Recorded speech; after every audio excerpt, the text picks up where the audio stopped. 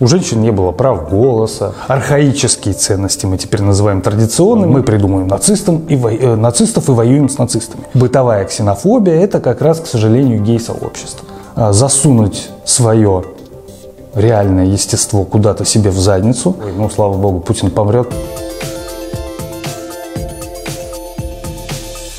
Верховный суд Российской Федерации предсказуемо признал экстремистской организацией международное движение ЛГБТ, то самое движение, которого в реальности не существует, никто его не знает, никто его не видел, и что последует за этим решением э, суда, никто пока не понимает. Э, нету никаких законов, нет никакой правовой практики. И э, там лояльные власти, журналисты и юристы сами задаются вопросом, а что будет, как и кого будут наказывать, непонятно. Мы тоже пока это не совсем понимаем, пытаемся разобраться в этом. Э, сегодня на сайте Псковской губернии выйдет, э, уже вышла публикация о том, что же последует за принятием за принятием такого решения мы побеседовали с юристами, которые, правда, сами пока э, больше задают вопросов, чем могут дать ответов.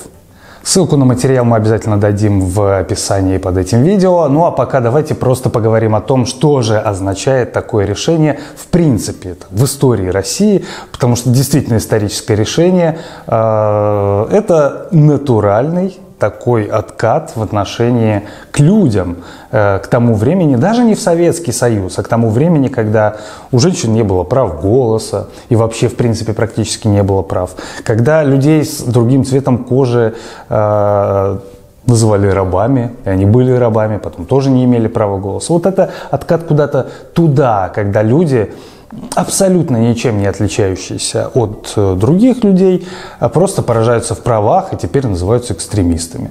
Это похоже на тот частный случай, допустим, когда э, свидетели Иеговы в России были признаны экстремистами. Тоже люди, ничем не отличающиеся от других православных или мусульман.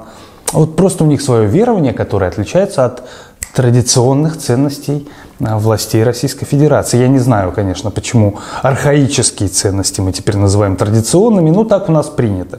Понимаете, подменять слова а, другими терминами, более удобными власти. Вот как, например, одно пропагандистское медиа в Псковской области накануне выпустило заголовок, который мне безумно понравился. А, дай бог памяти, называется «Не, а, не стагнация, а стабильность». Вот так у нас и придумывают смыслы пропаганда и российская власть. И вот теперь люди, а, которые никого не трогают, ничем не отличаются от других. Это, понимаете, не инвалиды, не больные, это такие же абсолютно люди, как мы все. Теперь они признаны экстремистами, им теперь грозит до 12 лет лишения свободы, причем неизвестно за что. Как мы знаем, в России закон можно повернуть как угодно. Это очень хорошо видно на примере закона об иностранных агентах – который мне как бы удалось э, пощупать и ощутить на себе прекрасно, когда сначала у нас говорили, что иностранных агентов будут назначать только за иностранное финансирование, там, иностранное влияние и так далее. Мы пришли всего за полтора-два года к тому, что Человека можно признать иностранным агентом за что угодно, за комментарий и просто за нелояльность власти. Последние а, включения в иностранные агенты были просто за нелояльность власти, а я скажу больше. Некоторые люди могли просто отправить сами заявления, и Минюст включал их в реестр иностранных агентов ни за что. Вот так в России сейчас работает закон. Это наши традиционные ценности. И так и у нас будет а, дальше, скорее всего, потому что нет у меня позитивных прогнозов, э, люди в России в большинстве своем э, с, ну не то чтобы с радостью, но с удовлетворением относятся к таким решениям.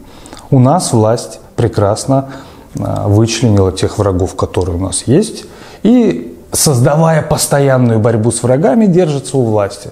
Первые враги у нас кто были? Безусловно, нацисты. Нацисты, которых никто не видел. Они где-то там, далеко в Украине. Э, мы придумаем нацистам и во... Э, нацистов и воюем с нацистами. Вторые враги, кто в стране? Ну, наверное, шпионы, да, агенты какие-нибудь. Давайте воевать с агентами и шпионами. Отлично. Третьи враги. Ну, конечно же, геи и лесбиянки. Кого в России не, нету, наверное, больше какой-то прослойки населения, а, кого в России принято не терпеть, я не буду говорить ненавидеть, но не терпеть. Вот такая бытовая ксенофобия, это как раз, к сожалению, гей-сообщество. Это вот это все объединяет. И когда власть взяла флаг, не радужный, да, свой вот эти 50 оттенков серого, и пошла воевать с радужным флагом, нашла себе врага врага, которого вот в реальности не существует, вот этого сообщества его не существует, его придумали и его победили, не начав войну, а потому что нет врага. Вот с чем боролись, непонятно.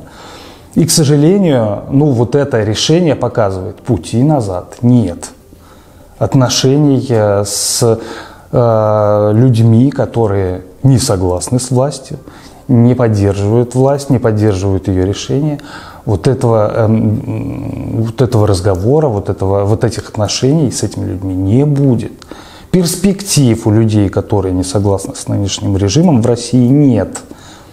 Они могут э, только либо заткнуться, ну, как в Чечне, мы прекрасно видели такие примеры, да, заткнуться и молчать, э, засунуть свое реальное естество куда-то себе в задницу или поглубже и молчать либо уезжать, если они еще смогут и успеют это сделать. Теперь у нас дан зеленый свет на то, чтобы этих людей гнобить и сажать. И поверьте мне, скоро вот эти наши народные дружины, которые якобы должны охранять у нас границы государства, начнут гонять вот этих людей так же, как в Чечне. Это все постепенно будет. И ну, надежды именно вот на сохранение гражданского общества и чего-то подобного в России уже нет. Это, мне кажется, ну, можно себя кормить надеждами сколько угодно. Я, знаете, в таких случаях представляю себе где-нибудь 30-40 э, лет назад в Северной Корее сидящего оппозиционера, который кричит «Корея будет свободной! Все будет хорошо!» Только пройдет 40 и 50 лет, и в Северной Корее ничего не изменится. А, то, что Россия сейчас стремительно двигается к восточной диктатуре, а не к Западу, это очевидно. То, что десятки лет, а возможно даже уже века, а, опять ничего не изменится, движение к западным демократиям не будет, это тоже очевидно.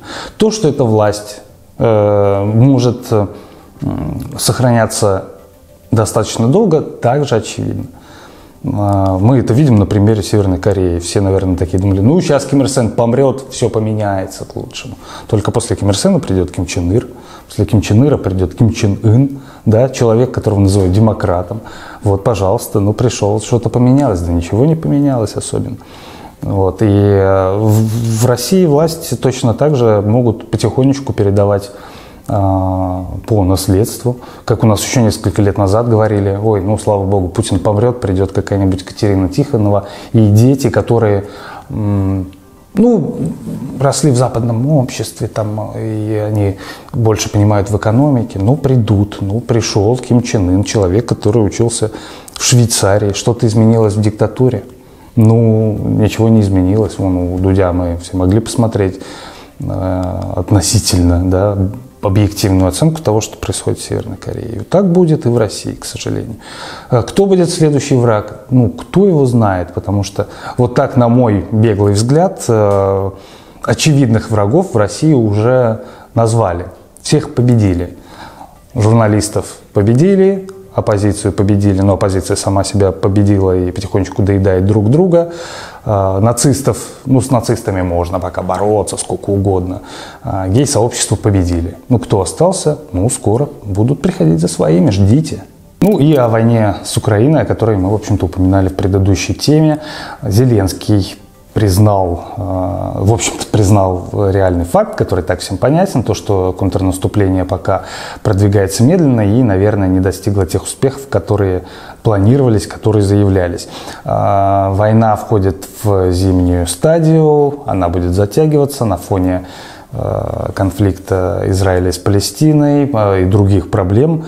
В общем-то, наверное, война постепенно, постепенно отходит, э, к сожалению, на второй план. Многие к ней привыкают. Видимо, до очередного какого-то взрыва, я имею в виду э, медийного взрыва, будь то э, прорыв одной из сторон, будь то мобилизация, которая многими прогнозируется на конец марта, начало апреля. Я имею в виду Россию. Так вот, что сказал Зеленский. Он, кроме того, что признал, про, признал факт того, что Украина не добилась желаемых результатов контрнаступления, он заявил, смотрите, мы не отступаем, я доволен, мы воюем со второй армией в мире, ну, когда-то так было. Я доволен. Мы теряем людей, я недоволен. Мы не получили всего того оружия, которое хотели, я не могу быть доволен, но и не могу слишком сильно жаловаться. Также Зеленский заявил, что Украина сейчас заинтересована и пытается нарастить вооружение, поскольку Россия также наращивает вооружение очень заметно, но пока этого вооружения не хватает и также не хватает поставок от союзников, но вроде бы в начале следующего года и финансы, и вооружение должны поступать в Украину исправно, поэтому конфликт, война будет продолжаться, и ну, пока непредсказуемо, как она будет двигаться дальше. Есть определенная точка отсчета, это ноябрь 2024 года, мы тоже уже об этом говорили в других программах.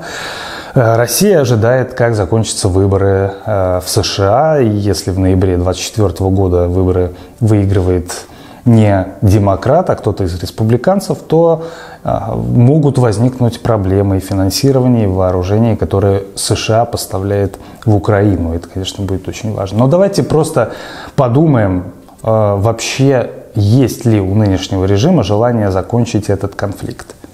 У меня есть подозрение, что конфликт как таковой военный а, заканчивать Россия не хочет, и если и его придется заканчивать в Украине, скорее всего, он появится где-то еще, потому что именно э, военный конфликт сейчас позволяет и удерживать режим, и воровать все, что можно. Посмотрите, как на примере федеральных властей, так и региональных, что творится в Псковской области. Воруют все. Врагами называют геев, но не воров, а лгунов и людей, которые запугивают свое население. Вот губернатор не враг, а гей-сообщество – это враги. Ну вот, я боюсь, что заинтересованности в окончании этого конфликта нет. А, война будет продолжаться, но она может продолжаться не только с Украиной. И э, то закрытие границ, которое мы сейчас с вами видим на Западе, в Финляндии, возможно, в Эстонии и Латвии, а, закрытие КПП, это во многом я так понимаю, ей опасения из-за того, что может э, быть в следующем году. В первую очередь там какие-то возможные разведки дронами и не только со стороны Российской Федерации. Многие этого опасаются. То, что Россия не хочет и не, не будет и не готова заканчивать войну ради того, чтобы просто существовать вот в этом режиме борьбы с врагами, это очевидно. И, к сожалению, к этому нам тоже придется привыкать.